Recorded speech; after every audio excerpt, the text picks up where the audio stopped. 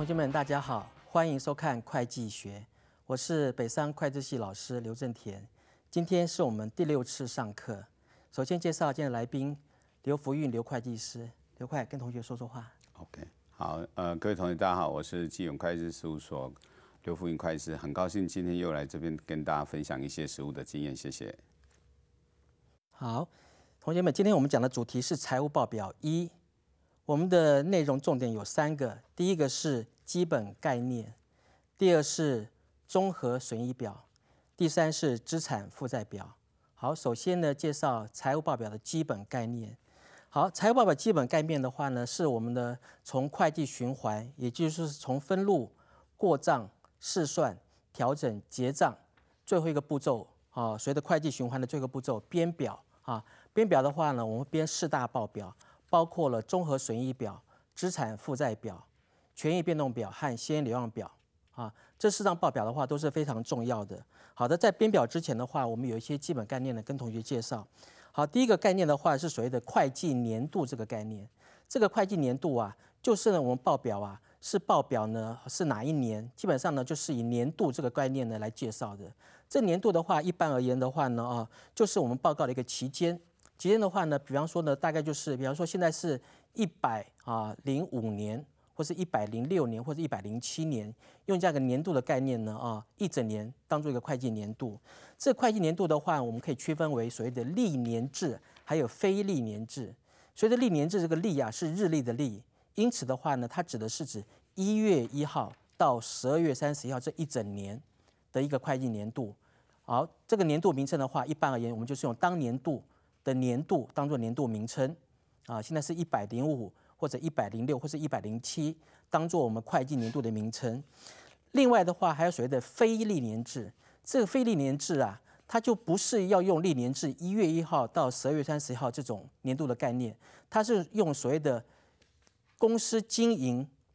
清淡或是开始要这个生意开始变好的这种情况的话，当做一个营业年度的开始。比方说在欧美国家啊，有感恩节或圣诞节啊，当做一个自然年自然营业年度，一般而言是从十月一号开始，比方说叫十月制。十月制的话，就是呢，它从十一月一号开始到隔年的九月三十号，当做一个会计年度。另外还有所谓的四月制，四月制的话呢，用春末啊春天开始的这个年度呢开始，比方说的话呢，从四月一号到三月三三十一号，当做一个会计年度。另外还有常用的所谓的七月制，七月制的话就从七月一号到六月三十号，像在民国八十九。年以前呐、啊，我们中央政府会计年度的话呢，就是还随着七月制，而它的年度名称的话呢，是用呢当年是用隔年度的名称啊，当年度。比方说呢，我们看民国八十八年度的话呢啊，它是呢它是呢衡量呢八十六年七月一号到民国呢八十八十六年七月一号到民国八十七年六月三十号，当过当做呢民国八十八年度的一个一个年度名称啊，这个叫做呢。自然营业年度啊，所以年度的话呢，都是可以让公司呢选用的。一当然最长一般的话是所谓的历年制。好，介绍所谓的年度会计年度，还有这个历年制、非历年制的一个名称以外，另外我们介绍所谓的其这个其中报告。其中报告的话是相对于年报而言的。这年报的话，就是说所有的公司啊，大概一年都要根据呢公司的经营情况、财务情况呢编制年报，编制四大报表，我们叫年报。啊，比方说上市贵公司，我们会在呢四月三十号之前啊公布年报，啊年报公布呢上一年度一整年一月一号到十月三十号一个公司经营情况，还有经营成果和财务情况。另外是其中报告，其中报告的话，目前的话就是按照季来划分，比如说第一季、第二季、第三季，我们可以用季来划分，叫做每一季度，第一季、第二季、第三季每一季度的一个其中报告。所以说的话，像第一季啊。公司就会在四月，啊，在这个五月份公布呢第一季的一个情况。如果第二季的情况的话呢，公司会在呢八月中来公布；如果第三季的话呢，公司会在十月中来公布呢公司的其中报告。这其中报告的话呢，它在一个编制的程序呢，跟我们年报是一样的，也就也就是有四大报表啊这些内容。所以说其中报告的话呢，它取得谁的及时性。所以及时性的话，就是说呢，我们希望投资人或报表使用者啊，可以及时取得公司经营结果还有财务情况的一些报告，四大报四大报表，可以马上明了公司的情况啊，而不是每次要等到过一年，过一年的话有点太久了，有些资讯的话取得太太满太晚了，就就不是那么有用了。所以说，其中报告的话，也就是我们目前的最常用的。除了其中报告以外的话呢，我们目前的这个上市会公司啊，还每个月要编制呢月营收呢，月营收的话也是希望呢取得及时性这样的一个概念。好了。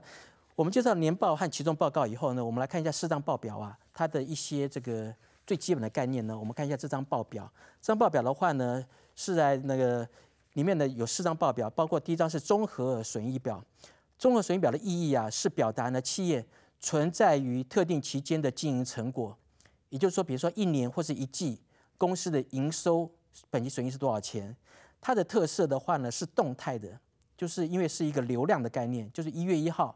到三月三十一，或是一月一号到十二月三十一号，这样一个流量的概念，啊，这是所谓的综合损益表。另外还有所谓的资产负债表，资产负债表是描述一个企业啊在特定日期的一个财务情况。这个财务情况的话，包括资产负债权益三个项目大类的一个情况。好，它是一个静态报表，也是一种存量的报表。所以这个静态存量的话，是说呢，公司在某一个时点，比方说是十二月三十一号，或是三月三十一号。公司财务情况的一个情的一个表述，而不是呢一段一段期间的一个内容啊，这是非常大的一个分野的啊。另外还有权益变动表，权益变动表的话是描述一个企业啊，它一段期间权益的一个变化。这权益的话呢，包括比如说说股本，包括保龄余等等这些变化，所以它所以说它也是一个动态的流量报表。最后一个是现金流量表。现流量表的话呢，是指呢企业在特定期间现金流入和流出的一个情况。这情况的话呢，是指呢，也是指动态流量的报表啊。这是呢给同学介绍的内容。好的，这个我们来这个也也请会计师分享。我知就我所知啊，会计师呢在这半年呢瘦身有成啊，啊，是不是跟我们四大报表这种观念的话呢，是有一些牵连呢？给请会计师跟我们分享。好好的啊。那个谢谢刘老师哈，因为最近我刚好是在这个执行我的自己的这个呃，我不叫减肥计划，通常是叫做瘦瘦身也好了，就是说改变自己的这个呃，为了改变自己的健康情况哈，最近呢做了一些啊运动啦，然后瘦身的这个计划哈。那基本上呢哈，我觉得嗯，我先来讲一下综合损益表好了，就是说这个综合损益表呢。它是在表达一个期间的这所谓的经营绩效嘛，所以我们常看到这种损益表呢，基本上它的这个表头通常它都是会一个期间，比如说一百零五年度，或是或是一百零五年一月一号到十二月三十一号，因为它是在表达一个期间的经营绩效。因为我们在问人家经营绩效，我们通常不会问你问人家说，请问你现在的经营绩效怎么样？一定问说今年以来的经营绩效。好，所以它是一个期间的概念。那另外呢，资资产负债表呢，它是在表达某一个点的财务状况。哦，所所以呢，我们可以看到资产负债表，通常在表头，我们都是一一个一天的这个，好，都会呈现出来是一个日期。也比比如说是十二月三十一号，因为我们通常不会去问人家说，请问你今年以来的经的财务状况好不好？那你到底问我是哪个时候？是三月呢？五月、八月？所以我们问他说，请问你现在这个财务状况怎么样？那这个就像我在瘦身一样啊，你知道，人家我我大概从这半年来，我可能大概瘦掉快二十公斤吧，哈。那那这个，我想这个运动，我靠靠过运靠运动来瘦身，基本上运动就是流量的观念嘛，哈，就是说，哎，我大概每天跑了多少公里？那我的假设我的这个，它就是我的经营成果嘛。如果我跑越多公里，我的流量越大，那才。财务状况就是我的健康状况，可能我的血压值我就会降得越低嘛，哈。那这个它就是一个存量的概念，所以很应该大家问我的，应该大概朋友问我说，哎，请问一下你们这个啊，今年以来你的瘦身成果怎么样？不会问我说你现在的瘦身成果，因为基本上通常就是说，哎，这个经营成果它就是半年来的。或一年来的这个成果，而不是一天的成果，哦。但是财务状况，也说我的健康状况是如何？大概人家不会问我说：“请问你今年以来的血压是如何？”那我这样我没有办法回答他，因为你今年以来，那到底是指三月一号吗？八月一号还那也就是说四月一号、五月一号，他一定问你说，请问你现在的血压状况怎样？那就是我现在的状健康状况。所以我想就是说，我常觉得会计就是跟你日常生活。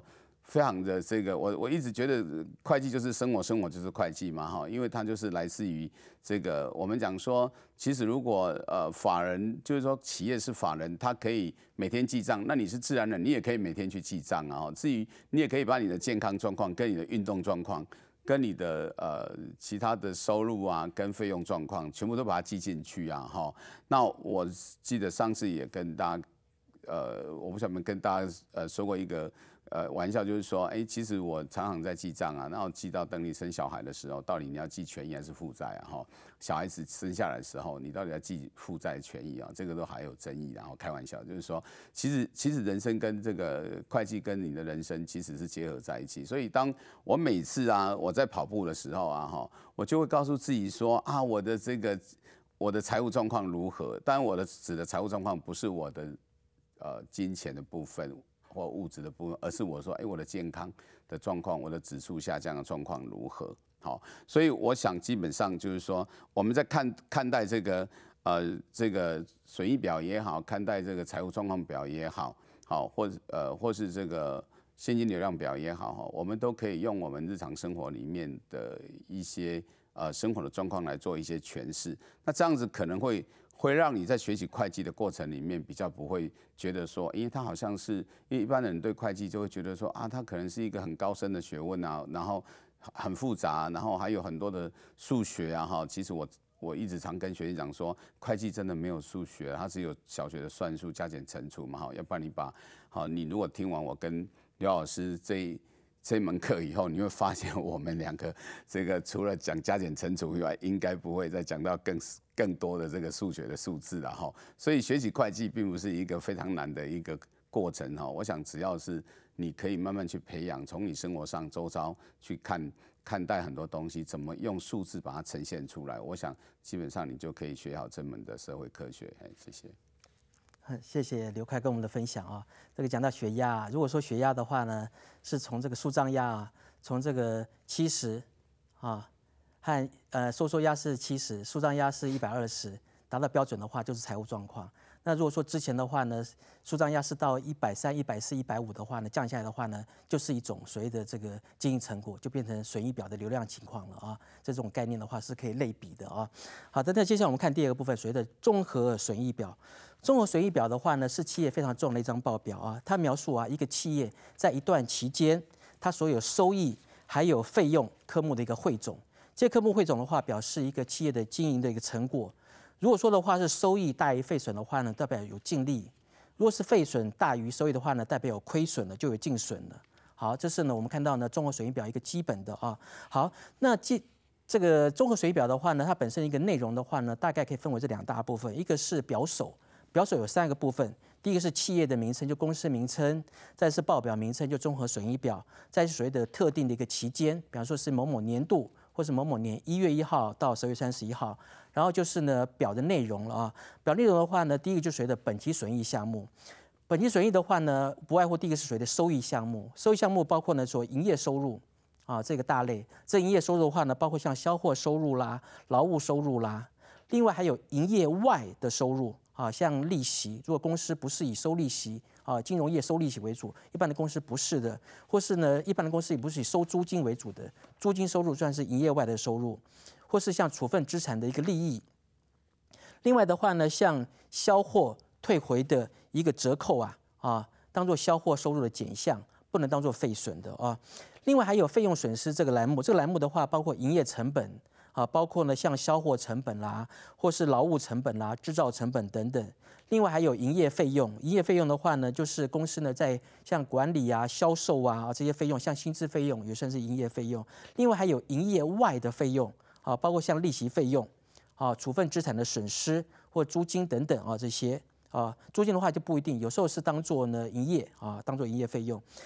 接下来我们看另外一个单单元，就是叫做停业单单位损益。就停业单位损益是说，公司有一部门或是一个单位啊，在报道年度的其中啊，它可能停业了。停业的话呢，我们要公布一下呢，这个停业单位呢，它今年度呢表现的损益是如何啊？包括像这个单位，比如说经营了半年，这半年的营业损益是如何？我们用税后来表达。又包括像处费损益，比方说这个单位啊，有一些资产，有一些负债，我们要处理掉，可能会有赚，肯定会有赔，我们会有一个处分损益。另外还有评价损益，比如说这个单位它的资产资产增值了或减值了，增值或减值会有个评价损益，我们也列报上去。另外还有其他综合损益，其他综合损益啊，是综合损益表里面啊，就是呢，我们改变报表名称到现在是两三年了啊。这两三年的话呢，同学对这个所谓的其他综合损益的话呢啊，是最陌生的。其他综合损益的话呢，是就是只能说没有列入本级损益，但是影响权益的部分，像包括呢重估价损益啊，有些是未实现的，还有呢像国外的营运机构有一些外币的兑换的损益。啊，真正也没有说真正的汇回来，就会有一些兑换上面、会计上面一些差额，还有一些有一些股票的投资未实现的损益，就是说我们买进来可能有涨有跌，我们也还没有卖啊，这方面的话呢，会有一些这个呃涨跌的损益。另外呢，有一个数字叫做每股盈余，我们叫做 E EPS，就 Earnings per Share，Earnings per Share 每股盈余啊，是投资人常常用来评。评估这个公司每股赚多少钱，一个非常重要的一个数字，它有很多东西可以应用的啊。我们将来会讲到，比方说像这个呃本益比啊这种概念啊，我们将来都会学得到。好，综合损益表的话呢，在呈现的话呢，有属于单站式还有多站式的损益表。单站式损益表就很简单，就是把收入归为一类，费损归为一类，两个相减都得到呢本期的损益是如何了。可是我们一般现在情况一般都是常见所谓的多站式的损益表。这个多站式损益表啊，它是把呢收入费损呐做多项式、多项式的一个分类啊。比方说呢，销货净额减掉销货等等，得到销谁销货毛利啊，再扣掉营业费用，等于所谓的营业利益啊这样的一个过程。这个过程的话呢，对投资人而言的话呢，会得到更充分的讯息啊。所以说的话，我们可以来看的这张报表，这张报表叫综合损益表，表头有三个部分。接下来的话，表内容的话呢，有所谓的收入啊、营业成本，得到所谓销货毛利啊，由销货毛利除以收入，可以得到所谓的毛利率这样一个重要的概念。还有所谓营业费用啊，扣掉了，还有所谓的其他收益和费损，可以得到营业利益啊。另外还有所谓的营业外的收支、收入和支出，可以得到所谓税前净利。再扣掉所得税费用以后，可可以得到呢继续营业单位的本级净利。这个继续营业单位是说呢，没有停业部分叫继续啊，这公司有继续经营的，明年还会再继续经营的，叫做继续营业单位本期净利。好，在列表呢，所谓的停业单位损益，就是我们刚提到的，有一些部门呢，在今年停业了，我们把它资讯公布上去，最后得到所谓的这个本期净利啊，就是我们一般来看的数目字，最后再加上一些未实现的啊，我们刚讲到的啊，这个未实现的一些这个投资损益啦，或涨价利益啊，或是换兑换的一些利益等等，得到所谓其他综合损益。好，把这个本期净利加上其他综合损益，得到所以本期综合损益总额，就是我们在水综合损益表里面看到最后那个金额。好，这个损益表的功能大概有两个，可以帮助投资人呐，或是呢报表使用者啊，预测未来公司的盈余，还有现金流量的评估，这是非常重要的一个预测的一个概念啊的功能。第二个，可以评估呢经营者管理人。他经营一个公司这个年度的一个绩效，还有他的责任，也就是说的话呢，他经营得好啊，投资人或是股东啊，会给他呢这个做一些嘉许；如果经营的不好，本金损益比较差，呈现比较差，数目字比较难看啊，我们就会就会给他苛责，希望他呢继续经营的好一点。好，另外的话呢，我们可以看到呢。中国水表会也会有一些缺点的，也就是说它没有百分之百这个那么完美。在数目字本身呢，它有些是按照历史成本来做分摊的，所以说的话呢，数字不是那么精确。有些的话机会成本，比方说呢，我们的房租是自己的，拿去做营业，丧失掉的租金费用就没有陈列进去，这机会成本的概念并没有陈列进去，也是它的缺点。另外很多会计是用估计数啊，这也不是很精确的。而且呢，会计原则允许不同的会计的方法，比方说呢，有一些会计选择。这一块选择的话，会使得本期综合损益啊有高有低。另外的话呢，目前的综合损益表是按照功能别分类啊，销售啊、管理啊，而不是按照所谓的活动类。活动类就是说呢，按照呢固定或是变动成本来分类啊。对于这个估计企业的未来的盈余啊啊是比较这个有缺有缺点有限制的。好，这是跟同学介绍的综合损益表。我们也请问会计师啊，对综合损益表的话，有没有更深的一些内容可以帮助我们同学加深了解？嗯，好的。我想在这个综合损益表上面哈，我想跟大家分享的是说，呃，为什么会叫综合哈？我想我们过去在呃台湾早期是用呃大概比较偏向美国的准则哈，那那个时候我们直接都叫损益表。可是后来我们在这个呃二零一三年开始使用欧洲的这个会计准则以后，就是我们现在所谓的国际会计准则以后。就加入一个综综合损益表的概念哈，那什么叫综合？也就是说，我们过去呢？在使用美国准则的时候呢，在刚刘老师提到的这些其他综合实现呃损益，也就是说有一些未实现的这个损益呢，我们以前呢？都把它直接放在损这个资产负债表里面的损的权益部分，而没有呈现在损益表上面。那这个会有造成一个现象，就是说。投资人他喜欢看的是损益表，而也习惯看比较看得懂的是损益表，他比较不会去对于这个一般投资人，除非是机构投资人这种专业的投资人，他可能会做比较详尽的分析。可是，一般的投资人呢，他往往呢都只是看单纯看损益表。那在这种情况之下呢，有一些没有实现，那它。直接放在资产负债表里面，而没有呈现在损益表上面呢，那往往呢就会造成这个呃投资人在做判断的时候呢，呃失去了一个依据哈。那举例来说，就是说像我们每一个人家里面，如果你买房子呢，基本上你房子虽然你是自住啊，但是问题是说它可能有涨有跌啊。如果它涨的时候呢，其实它是未实现的，那当然将来实现以后，它可能对你的损益呢。当年度的损益会有很大的影响，可是当如果跌的时候呢，你并没有呈现在损益表上面，那这个时候呢，你直接放在你权益的减少，那这个部分当然对投资人来讲可能会有在投资判断上会有很大的影响，所以对于这个呃，我们讲国际会计准则，它在呃当初我们在呃使使用这个国际会计准则的时候呢，国际会计准则希望。这个呃各个国家呢，他们在使用这个新的会计准则的时候呢，能够把这个未实现的部分呢，也放在损益表上面。但是呢，因为它又是未实现，也就是说还没有实现这个损益还没有实现，所以呢，他希望就是说你把它放在其他综合损益跟原来我们所使用的本期损益的部分能够分开。那这样子呢，让投资人可以更加清楚，就是说，哎，这些未实现，将来如果实现以后，那它可能会影响公司的经营绩效会有多大？那这样他在判断的时候呢，哈，就会比较能够呃更精准哈。所以呢，我想在整个损益表，就是说在整个呃新的台湾使用新的国际会计准则之后，最重要这个所谓的综合损益表里面的综合这两个字。是最重要的一个概念哦。现在有很多资深的这个比较资深的会计人员，他们在学习新的这个会计准则的时候，他们对于这个其他综合损益相当的这个呃陌生哦。那也就是说，但只只要你去大概有一个一个原则性的概念，就是说，它其实它就是把过去未实现的损益直接把它塞到权益里面去的部分。目现在呢，它它把它抽离出来，在损益表上面也是。去呃表现出来，就完全只是这个意思而已。哦，大概补充这边。好，谢谢刘快跟我们的分享啊。接下来我们介绍资产负债表。资产负债表是一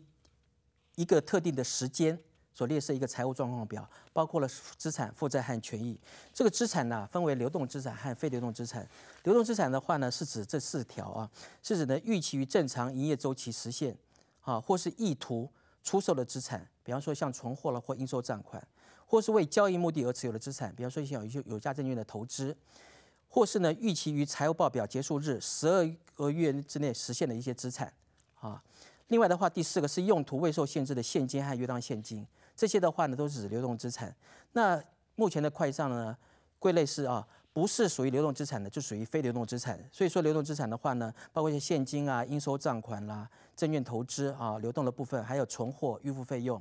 另外的话呢，非流动资产的话，包括有一些像长期投资、不动产、厂房、设备、无形资产、投资性不动产等等。再来看我所谓的负债，这负债的话呢，是按照到期日的远近啊来做一个这个排列的。首先介绍所谓的流动负债，是指预期于正常营业情况啊清偿的负债，或者是说呢在交易为目的而持有的负债，或是预期于财务报表结束日十二个月之内到期清偿的负债，还有不能无条件递延于报表结束日后十二个月以后的负债。也就是说的话，不能够自己说我要展期的啊，这叫做无条件。所以说的话，目前的流动负债的话，包括呢有短期借款、短期票券、应付账款；非流动负债的话，包括一些像应付公债，都属于长期的。另外再看权益，权益的话呢，很简单，就是指资产减掉负债的一个剩余权益啊，通常分为股本、资本公积、保留盈余和其他权益等等。资产负债表的功能呐，是可以帮助企业呢评估企业的一个流动性、财务弹性和营运能量，也可以帮助企业呢评估企业的经营绩效。还显示呢企业的一个资本结构啊这些功能。接下来我们介绍资产负债表本身。这张报表的话呢，一样分为表头还有内容。表头外也有一样有三个啊，这是公司名称、资产负债表报表的名称，还有这年月日。一般而言是某某年的十二月三十一日。好，接下来我们看呢这个所谓的这个账户是的，左边的话所谓的资产类。资产类的话呢啊，有分为流动资产和非流动资产，就是像我们刚介绍的。流动资产的话呢，是按照呢它的流动性的大小啊、变现能力，现现金、应收账款啊，或是这个有价证券、存货等等啊这样介绍。另外的话还有非流动资产，一般而言像固定资产呐、无形资产呐等等这些的话呢啊，是谁的资产项目。最后左边会有个资产的合计数，就属于借方啊。这报表我们看这报表是谁的一百万。右边的话呢有分为两大部分，一个是负债，一个是权益。负债的话按照流动负债。还有非流动负债啊，来做一个这个陈列啊，是按照流动性的一个远近啊，先进先进的再远的啊，加起来呢，这边负债总计有四十万。另外还随着权益，权益的话，报表这张报表上面有三个部分，第一个是股本，还有资本公积，还有保留盈余啊，权益总计总共有六十万。最后我们把负债和权益加总，把它合计起来，总共呢是有右边就是贷方呢也有一百万。我们最后来看呢，资产负债表左边有一百万。右边有一百万，就是借贷平衡了。这是我们资产负债表啊，它编制的时候呢，大概的一个内容。好的，这个资产负债表的话呢，跟同学介绍完毕了啊，也请那个刘快啊，跟我们分享一下资产负债表呢，跟人生呢，还有一些什么启发呢？OK，好，那我想这个资产负债表跟损益表怎么解读哈，就好像在择偶一样哈，好像你在选择另外一半一样。那我想，我们每个人都希望，就是说，我们的另一半可能就是他的经营绩效很好，也就是说，他每年都很会赚钱，然后他财务状况很好，他的资产很丰厚。但是，我想不是每个人都这么幸运。所以呢，在当你在没有办法选择到同时两边都很好的时候，你到底要选择经营绩效，还是要选择他的这个资产负债的情况？这个就见仁见智哈。我想这个以后有机会再跟大家呃更做更详细的分享，好不好？谢谢。谢谢刘快啊，跟我们所做的一些分享。我想刘快的分享啊，都跟我们的日常生活或是一些人生规划都息息相关呢，是非常具有这个建设性的啊。好的，我们今天呢跟同学介绍了资产负债表和综合损益表这两张非常重要的报表，跟我们的这个人生的生涯规划。或是跟我们的这些财务管理啊等等啊，都是非常的息息相关。包括像股票投资啦啊，或是在我们做一些投资理财啊，都是可以参考的啊。那呢，包括了像这个做本期损益、每股盈余或者资产负债权益的一些这个内容的了解啊，希望同学多多体会。我们今天就介绍到这边，下次我们介绍财务报表二。谢谢同学，再见。